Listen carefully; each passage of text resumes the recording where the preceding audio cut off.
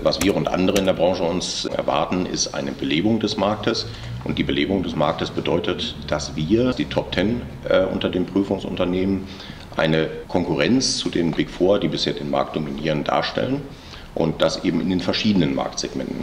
Dazu kann man auch vielleicht noch hinzufügen, die Reform hat ja mehrere Überlegungen als, als Hintergrund und als Auslöser gehabt. Ein Kernbereich ist die Stärkung der Unabhängigkeit des Prüfers gewesen, aber ein anderer, mindestens so wichtiger politischer Motivationsfaktor ist eben genau die Belebung des Marktes und die Hoffnung, dass die größeren Prüfungsgesellschaften, die auch weltweit ein Netzwerk haben, aber nicht zu den vier größten gehören, zu den anderen wieder aufschließen können, sodass man vielleicht wieder eben zu den großen acht oder vielleicht große zehn zurückkehrt, weil von der Leistung die absolut in der Lage sind, auch diese Mandate zu übernehmen. Welche Herausforderungen bringt die Reform für die Prüfer?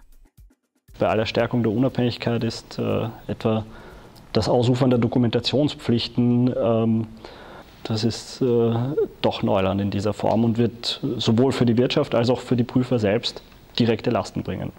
Also das kann ich bestätigen. Das, was heute als Pflichtprogramm jenseits der, was man früher gesagt hat, eigentlichen Prüfungshandlungen liegt, ist so exponentiell gewachsen, dass die Nettoprüfungszeit sich im Vergleich zu früher wesentlich verringert hat. Aber auch darauf müssen wir eine Antwort finden. Da denken wir als Berufsstand auch über Mittel nach, wie zum Beispiel eine audiovisuelle Prüfungsdokumentation.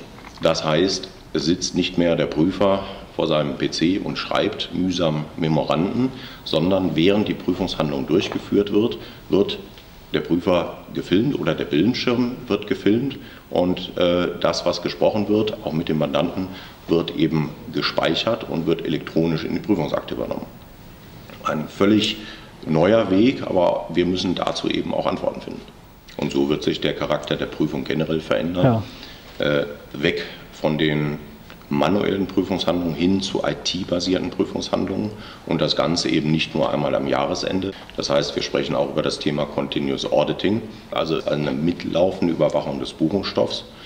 Durchsuchung auf Auffälligkeiten und wenn im Buchungsstoff Auffälligkeiten sind, Parameter verletzt werden, dann muss eine sofortige, eine sofortige Meldung an das Unternehmen erfolgen und nicht erst am Jahresende, mhm. wenn der Abschlussprüfer einmal im Jahr läutet genau in die Richtung geht die Reform bei einem ganz allgemeinen Satz, der, glaube ich, aus deutscher Sicht oft unterschätzt wird.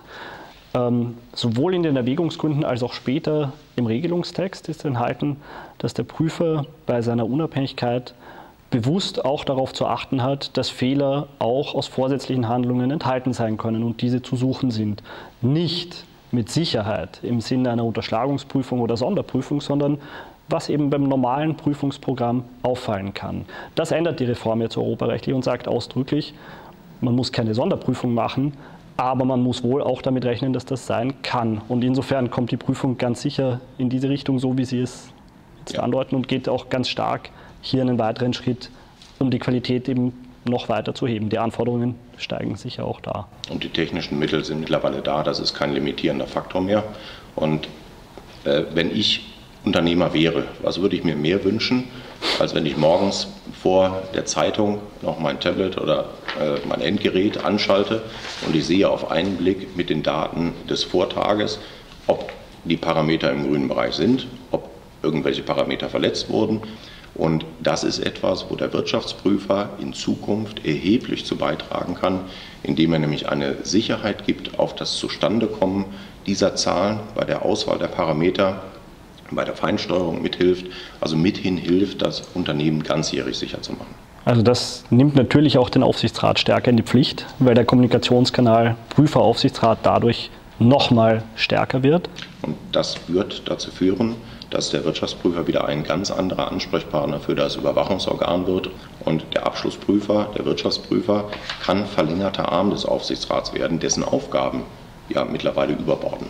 Ja. Jetzt ist noch dazugekommen, nicht erst kürzlich, ähm, aber doch in jüngerer Zeit, der Aufsichtsrat muss zum Beispiel die Wirksamkeit des internen Kontrollsystems des Unternehmens, die Wirksamkeit des Risikomanagementsystems, die Wirksamkeit des Compliance-Management-Systems und die Wirksamkeit der internen Revision überprüfen.